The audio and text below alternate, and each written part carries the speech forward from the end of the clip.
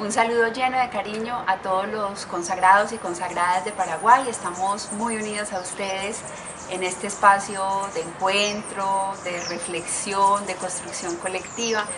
En América Latina y el Caribe todos seguimos soñando con, ese vino nuevo, con ese vino nuevo que haga posible que vivamos con más radicalidad y sentido nuestra vocación de consagrados, que nos dispongamos más alegremente para, para el servicio, para la generosidad en la entrega, para el profetismo.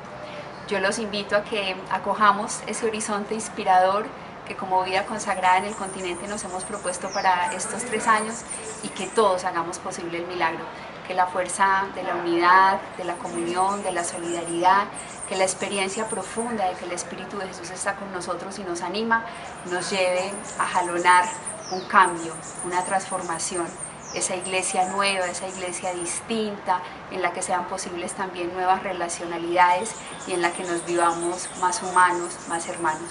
Un abrazo y mi oración por ustedes y el desarrollo de su encuentro. Cuenten con mi oración.